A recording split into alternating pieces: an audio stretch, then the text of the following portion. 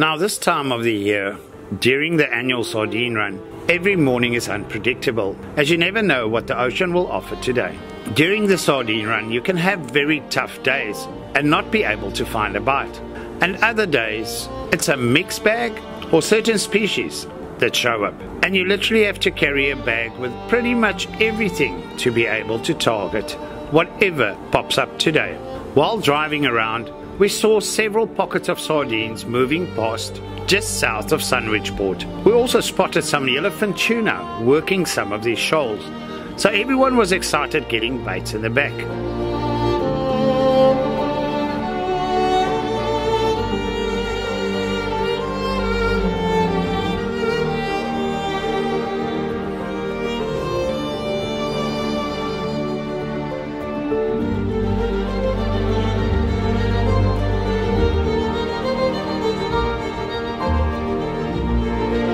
Some of the shoals came in pretty close, and I quickly rigged up a rod to throw a plug for the fish passing closer by. Some of the sards were pushed right into the bay, and some actually washed out on the beach, as predatory fish were feeding on them.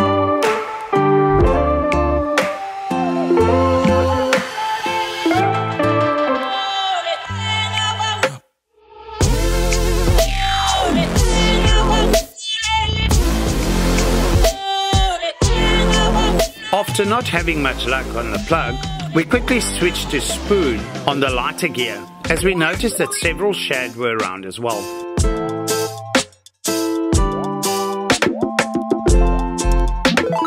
We quickly got stuck into the shad using the spoon.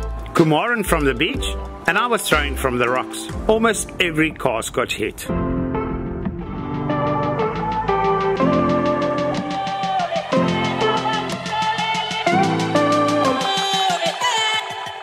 Time of the year, the shad is excellent live bait, and we quickly got a few together to put them out as the tide will push in. It doesn't matter how many fish you've caught in your life, catching shad with spoons on light tackle is always great fun.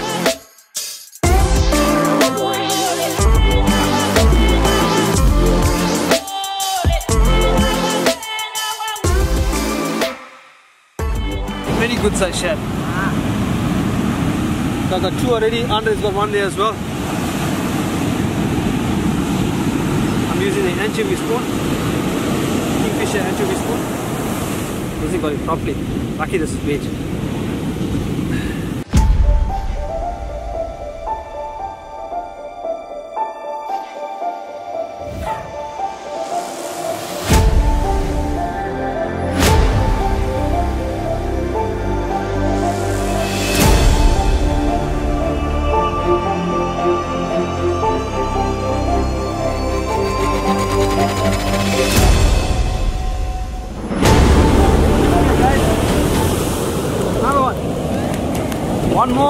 Got my limit.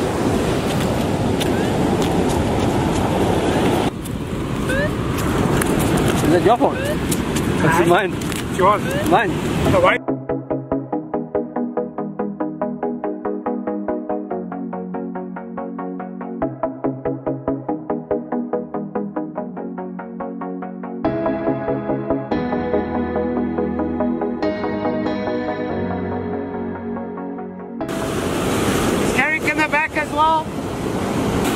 Just saw Garrick in the bay, yeah? The shad were wild and then they're only they, they're hugging the rocks now.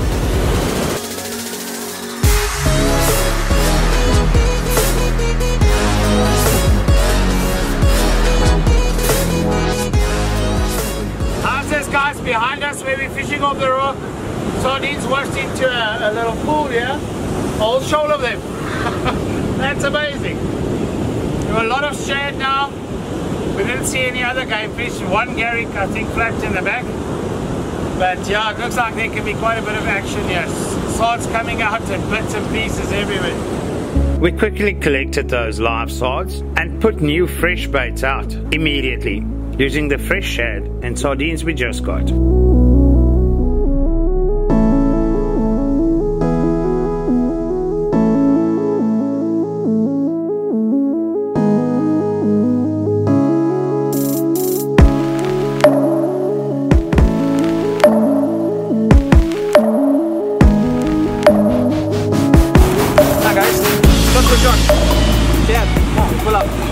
Got my four. So yeah, I'm gonna call it. We've got enough bait now. My four shad, my limit.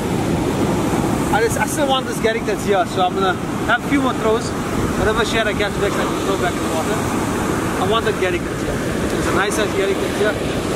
Let's hope we can get him. I see Chevan's running for his live bait rod. He's gonna put one on live. And yeah, let's see if I can get the garrick.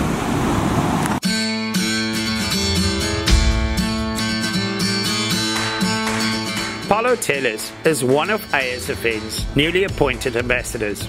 We are fortunate to have him with us and know Paulo will be a great benefit in sharing information and tips with you guys forward. On days like these, you can almost smell and taste the bite. At any moment, your reel can take off screaming.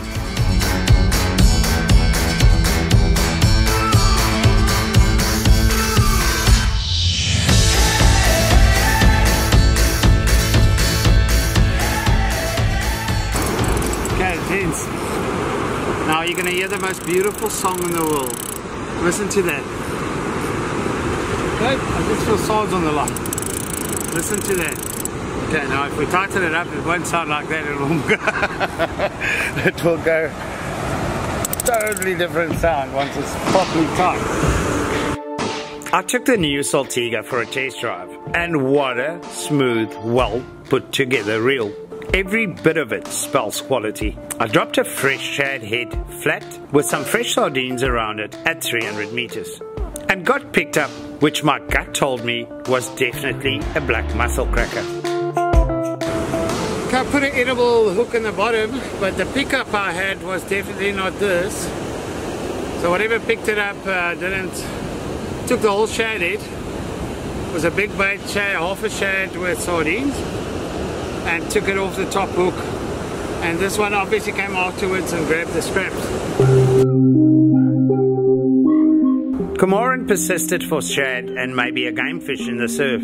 After a while not getting a bite on the bigger bait, we switched back to fishing for shad, using fresh sardines.